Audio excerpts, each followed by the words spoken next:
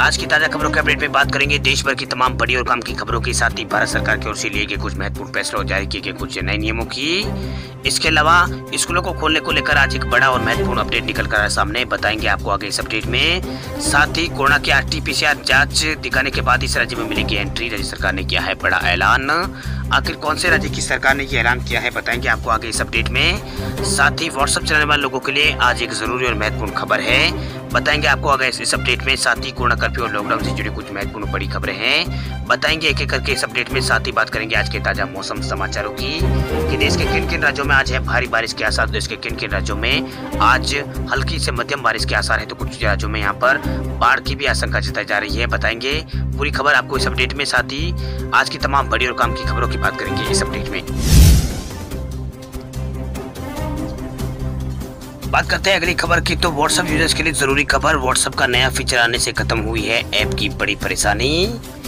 WhatsApp ने app में होने वाली एक बड़ी परेशानी को मल्टी डिवाइस फीचर के साथ यहाँ पर खत्म कर दिया है। मल्टी डिवाइस फीचर यूज़र्स को व्हाट्सएप में बिना आपके स्मार्टफ़ोन कनेक्ट किए, यहाँ पर लिंक्ड डिवाइस को इस्तेमाल करने की अनुमति देता है। वह मल्टी डिवाइस फीचर आने के बाद यूज़र्स अब मल्टीपल डिवाइस पर बिना प्राइमरी डिवाइस को कनेक्ट किए व्हाट्सएप का इस्तेमाल कर सकते हैं। अब यूज़र्स को पीसी या फिर लैपटॉप या फिर यहाँ पर इनके अंदर व्हाट्सअप चलाने के लिए पहले अपने फ़ोन में व्हाट्सअप को, यानी इंटरनेट कनेक्ट को यहाँ पर चालू करना होता था। इस नए फीचर के आने के बाद ये परेशानी आपको यहाँ पर खत्म हो जाएगी। लंबे समय से इंतज़ार के बाद फेसबुक ने व्हाट्सअप के लिए इस फीचर को लॉन्च कर दिया है। व्हाट्सअप ने अभी इस फीचर को बीटा टेस्टर के लिए यहाँ पर लॉन्च किया है। वह बीटा टेस्टर के लिए ये फीचर कई फ़ेज़ में लॉन्च यहाँ पर किया जाएगा, जिसके बाद इसे यूज़र्स के लिए व्हाट्सअप में शामिल किया जाएगा। चलिए बात करते हैं अगली खबर की। तो रेल यात्रियों के लिए राहत भरी खबर शुरू होने जा रही है। Humsafar double decker express भारतीय रेलवे ने यात्रियों को बड़ी राहत दी है। रेलवे एक बार फिर हम सफ़र एक्सप्रेस और डबल डेकोर एक्सप्रेस ट्रेन का संचालन फिर से शुरू करने जा रही है। रेलवे ने कोरोना संक्रमण के बढ़ते मामलों के चलते इन ट्रेनों का जो संचालन है, उसको रोक दिया था, लेकिन अब एक बार फिर पश्चिमी रेलवे ने ट्रेनों के संचालन का यहाँ पर फैसला लिया है। वही कोरोना संक्रमण के बढ़ने के बाद रेलवे ने कई ट्रेनों का संचालन बंद कर दिया तब धीरे धीरे यात्रियों की संख्या बढ़ने लगी है। ऐसे में रेलवे ने फिर से ट्रेनों पर, यहाँ पर ट्रेनों को पटरी पर दुराने का फैसला लिया है। वही रेलवे ने इस हफ़्ते आठ जोड़ी ट्रेनों को यहाँ पर चलाने का फैसला किया है। इसमें हम सफ़र एक्सप्रेस के साथ साथ डबल डेकोर एक्सप्रेस और रेलवे ने बांदा जामनगर हम सफ़र एक्सप्रेस का संचालन फिर से शुरू कर दिया है। ये ट्रेन संख्या ज़ीरो नौ हज़ार एक सौ तेईस बांद्रा टर्मिनस जामनगर हमसफर एक्सप्रेस अब हफ़्ते में तीन दिन ये चलेगी। ये ट्रेन सोमवार, गुरुवार और शनिवार से चलेगी। इसके अलावा यहाँ पर बांद्रा टर्मिनस से भावनगर सुपर एक्सप्रेस ट्रेन जो ट्रेन है, इसका संचालन सोमवार को यहाँ पर आज से किया जा रहा है। इसके अलावा मुंबई सेंट्रल से अहमदाबाद डबल डेको एक्सप्रेस, जो स्पेशल ट्रेन है, उसका संचालन भी रविवार को छोड़कर बाकी सभी दिन यहाँ पर किया जाएगा, जबकि रेलवे ने यहाँ पर वीरावली से इंदौर महा, यहाँ पर महामानस स्पेशल ट्रेन को भी यहाँ पर हफ़्ते में एक दिन चलाने का फैसला यहाँ पर लिया है। बात करते हैं अगली खबर की तो न्यू लेबर कोड जल्द लागू करेगी सरकार, एक अक्टूबर से घटेगी सैलरी, लेकिन ग्रेजुएटी और पीएफ का होगा फ़ायदा। कामकाजी लोगों के लिए एक बहुत ही ज़रूरी सूचना है। वह यह है कि केंद्र की नरेंद्र मोदी सरकार नया श्रम कानून यानी न्यू लेबर कोड के ज़रिए काम के समय को बढ़ाकर 8 से 12 घंटा करना चाहती है। मीडिया की खबरों के अनुसार, मोदी सरकार 1 अक्टूबर से न्यू लेबर कोड के नियमों को लागू कर सकती है। वही मीडिया रिपोर्ट के अनुसार, मोदी सरकार एक जुलाई से न्यू लेबर कोड को नियम को लागू करना चाहती थी, लेकिन राज्य सरकारें तैयार यहाँ पर नहीं थी। अब अक्टूबर, यहाँ पर एक अक्टूबर से इसे लागू करने का निर्धारित लक्ष्य यहाँ पर किया गया है। लेबर कोड के नियमों के मुताबिक कर्मचारियों के काम के घंटे बदलकर 12 घंटे हो सकते हैं। वही कर्मचारियों की ग्रेजुटी और भविष्य निधि यानी पीएफ में बढ़ोतरी यहाँ पर होगी, लेकिन हाथ में आने वाली सैलरी कम हो जाएगी। जल्दी सरकारी और प्राइवेट सेक्टर के कर्मचारियों को अपनी सैलरी और ग्रेजुटी और भविष्य नीति यानी पीएफ में बड़े बदलाव यहाँ पर देखने को मिल सकते हैं। वही सरकार के नए लेबर कोड के नियमों को एक अप्रैल दो से लागू सरकार करना चाहती लेकिन राज्यों की तैयारी न होने के कारण कंपनियों को मानव संसाधन नियमों के बदलने के लिए ज़्यादा समय देने के कारण इन्हें यहाँ पर टाल दिया गया था। श्रम मंत्रालय के अनुसार सरकार लेबर कोड के नियमों को एक जुलाई से नोटिफाई करना चाहती थी, लेकिन राज्य नए नियमों को लागू करने के लिए और समय यहाँ पर मांगा था, जिसके बाद, जिसकी वजह से यहाँ पर एक अक्टूबर से इसे यहाँ पर टाल दिया गया, यानी अब एक अक्टूबर से इसे लागू किया जाएगा। चलिए बात करते हैं अगली खबर की। तो बिहार, हरियाणा, महाराष्ट्र और गुजरात सहित देश के कई राज्यों में आंशिक तौर पर खोले गए हैं स्कूल। कोरोना संक्रमण के मामलों में लगातार गिरावट आ रही है। इसी को देखते हुए कई राज्यों में सरकारों ने यहाँ पर लॉकडाउन में प्रतिबंध में कुछ यहाँ पर ढील दी है। वह इसी के तहत देश भर के कई राज्यों ने स्कूली छात्रों के लिए फ़िज़िकल क्लासेस फिर से खोलने का यहाँ पर शुरू कर दिया है। वही राज्यों की बात करें तो ओडिशा राज्य में कक्षा दसवीं और बारहवीं के लिए स्कूलों को यहाँ पर छब्बीस जुलाई पर फिर से खोलने का फैसला लिया गया। हालाँकि ऑनलाइन कक्षाओं में आना छात्रों के लिए अनिवार्य नहीं किया गया है। इस दौरान छात्रों के लिए यहाँ पर ऑनलाइन टीचिंग और यहाँ पर ऑनलाइन टीचिंग जारी यहाँ पर की जाएगी वही ओडिशा के स्कूल एवं जन शिक्षा विभाग के सचिव ने कहा है कि हम ऑनलाइन टीचिंग के ज़रिए छात्रों के कुल 40 प्रतिशत छात्रों तक ही पहुँच पा रहे थे, जबकि 60 प्रतिशत छात्र अभी भी पीछे रह रहे थे। इसके अलावा महाराष्ट्र सरकार ने 15 जुलाई से कक्षा आठवीं से बारहवीं तक के स्कूलों को फिर से खोल दिए हैं। हालाँकि स्कूल उन्हीं इलाकों में खोले गए हैं जहाँ पर एक महीने से कोई भी कोरोना का संक्रमण का मामला नहीं आया हो।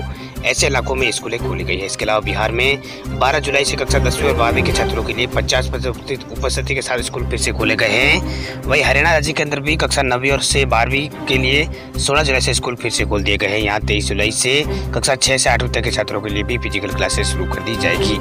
हालाँकि स्कूलों के अंदर यहाँ पर, स्कूलों में आने से यहाँ पर पहले बच्चों को अपने माता पिता से यहाँ पर परमिशन लेनी होगी।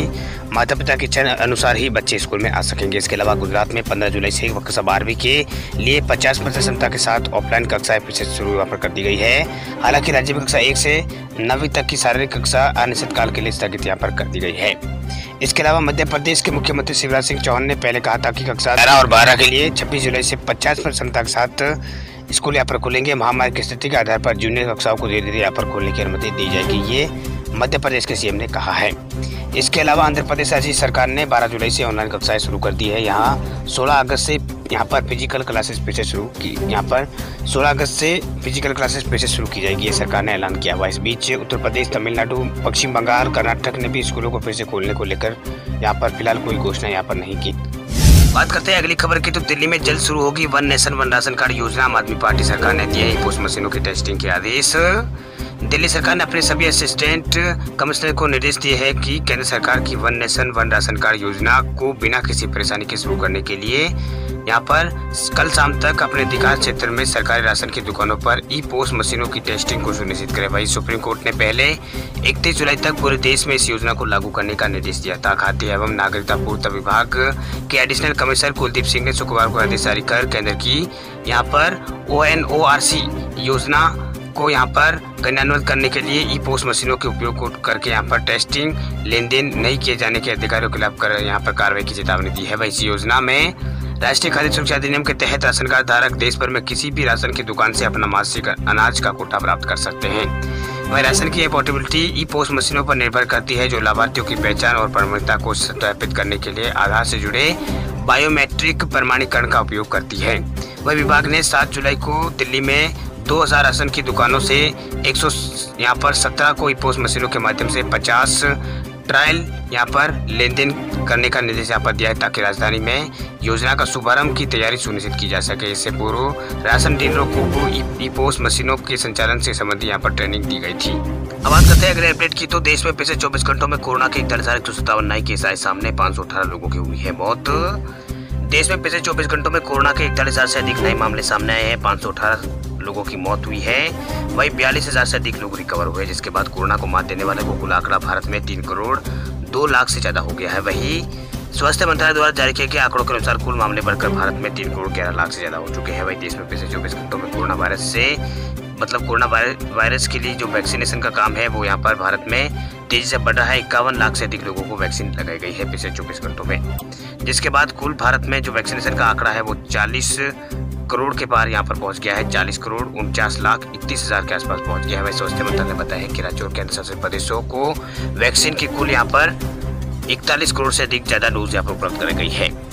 वही स्वास्थ्य मंत्रालय ने बताया है कि यहाँ पर स्वास्थ्य मंत्रालय ने बताया है कि बयालीस हज़ार नए डिस्चार्ज यहाँ पर मामले मतलब डिस्चार्ज किए गए हैं। कुल डिस्चार्ज हुए मामलों की संख्या भारत में तीन करोड़ दो लाख से ज़्यादा हो चुकी है। देश में सक्रिय मामलों की संख्या चार लाख बाईस हज़ार के आसपास है भारत में कुल कोरोना वायरस के लिए भारत में अब तक कोरोना वायरस के लिए कुल पिछले 24 घंटों में 19 लाख से अधिक सैंपल टेस्ट किए गए भारत में अब तक कुल चोरों यहाँ पर, भारत में अब अब तक कुल यहाँ पर चौवालीस करोड़ से अधिक सैंपल टेस्ट किए जा चुके हैं। वही भारतीय चिकित्सा अनुसंधान परिषद ने इस बात की यहाँ पर जानकारी दी है। स्वास्थ्य मंत्रालय ने बताया कि देश में कोरोना वायरस के सक्रिय मामलों के टोटल जो प्रतिशत है वो एक दशमलव तीन छः फ़ीसदी है, जबकि दैनिक पॉजिटिव रेट दो दशमलव एक तीन फ़ीसदी है। वही दैनिक पॉजिटिव रेट लगातार सात दिनों से यहाँ पर तीन प्रतिशत से कम चल रही है। रिकवरी रेट भारत में बढ़कर सत्तावन दशमलव तीन एक फ़ीसदी हो गया है।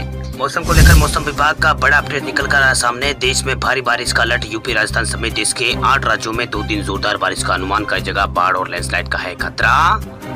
देश में मानसून रुक रुक कर एक्टिव हो रहा है। इसने कई जगह पर तबाही मचा रखी है। कई जगह लोग भी अब बारिश का इंतज़ार कर रहे हैं। वही मुंबई में भारी बारिश के बाद यहाँ पर कई इलाकों में जल जमाव की स्थिति उत्पन्न हो गई है। वही मौसम विभाग की माने तो आज यहाँ पर देश के कई राज्यों में ज़बरदस्त बारिश होने के आसार है। आज उत्तराखंड, हिमाचल प्रदेश, हरियाणा, चंडीगढ़, दिल्ली और उत्तर प्रदेश, बिहार, राजस्थान के लिए येलो अलर्ट जारी किया गया है। वही मौसम विभाग ने कल के लिए जम्मू कश्मीर लद्दाख और पंजाब के लिए येलो अलर्ट जारी किया है। वहीं हिमाचल प्रदेश में लैंडस्लाइड की है आशंका। है शिमला के मौसम विभाग केंद्र ने शनिवार को चेतावनी दी है कि अगले तीन चार दिन राज्य में बारिश के चलते ज़मीन धसने की आशंका है। वही मौसम विभाग ने अलर्ट जारी करते हुए कहा है कि लैंडस्लाइड के चलते कई स्टेट, यहाँ पर हाईवे और नेशनल हाईवे जाम होने और नदी नालों में उफान आ सकता है। इसके अलावा मौसम विभाग ने जम्मू कश्मीर में बाढ़ की दी है चेतावनी। मौसम विभाग ने अगले तीन चार दिनों में भारी बारिश के चलते जम्मू कश्मीर के अंदर, जम्मू कृषि ने और यहाँ पर बाढ़ और निचले क्षेत्रों में पानी जमा होने की चेतावनी दी है। वह जम्मू कश्मीर लेह और डोडा किश्तवाड़ और मुगल रोड पर ट्रैफ़िक पर भी असर यहाँ पर पड़ सकता है। वह कृषि और बागवानी भी इससे प्रभावित होगी। इसके अलावा महाराष्ट्र राज्य में बाढ़ जैसे हालात है। मुंबई में गुरुवार रात से ही रुक रुक कर बारिश अब तक यहाँ पर चल रही है। कई इलाकों में बारिश से हालात यहाँ पर बुरे बने हुए हैं। वही मौसम विभाग ने बारिश को लेकर ऑरेंज अलर्ट यहाँ पर जारी किया है। वही रविवार को सुबह से ही कई इलाकों में बारिश यहाँ पर मुंबई में हो रही है। आज दिन भर यहाँ पर बारिश होने की संभावना यहाँ पर मौसम विभाग ने जताई है। इसके अलावा बिहार में मौसम विभाग ने येलो अलर्ट जारी कर दिया है। राज्य के कई क्षेत्रों में शनिवार को अच्छी बारिश हुई, जिसके चलते कुछ स्थानों पर यहाँ पर बारिश अच्छी हुई है। वही आज भी कुछ इलाकों में अच्छी बारिश होने की संभावना है। मौसम विभाग के मुताबिक सोमवार ने आज को, आज यहाँ पर तेज बारिश होगी। वही आज आंधी तूफ़ान और बिजली गिरने की आशंका को देखते हुए ऑरेंज अलर्ट यहाँ पर जारी किया गया है। वही मौसम विभाग ने कई इलाकों में येलो अलर्ट भी जारी किया है। इसके अलावा उत्तर प्रदेश के बत्तीस जिलों में पिछले चौबीस घंटों में बारिश यहाँ पर मौसम विभाग ने कहा है कि बारिश यहाँ पर हो रही है। वही मौसम विभाग ने यहाँ नौ जिलों के लिए आज ऑरेंज अलर्ट जारी किया है। लखीमपुर, खीरी, बिजनौर और मुजफ्फरनगर, पीलीभीत शाजापुर और वाराणसी, संत रविदास नगर और मिर्जापुर, प्रयागराज इसमें शामिल है। यहाँ सत्तासी किलोमीटर प्रति घंटे की रफ्तार से तेज हवा चलने के साथ साथ बिजली गिरने की आशंका जताई गई है।